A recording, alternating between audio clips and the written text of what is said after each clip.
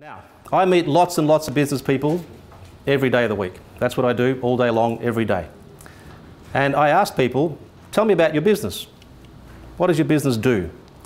What amazes me is how few people can articulate the value that their business brings to the table. You would think that we'd have that down, right? You would think we'd be able to say, right, my business does this, and this is why you should be interested, and this is why you should be talking to us. That would be a good place to be, do you think? To have that ability to capture that value proposition of your business. Yeah? Okay. So when you think about value proposition, usually people are driven by one of these sides of the scale or both, depending on the situation. Usually they want more of something. So they want more time, more money, more freedom, more fun. They want less stress, less uncertainty. Yeah? So you're tapping into, with your business, one side of this table somehow, I think, generally speaking.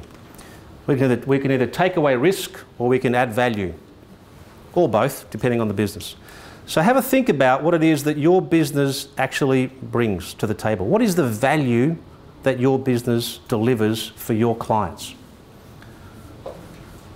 If you're not in business, what is the value you bring to the table for the things that you do? What do you deliver?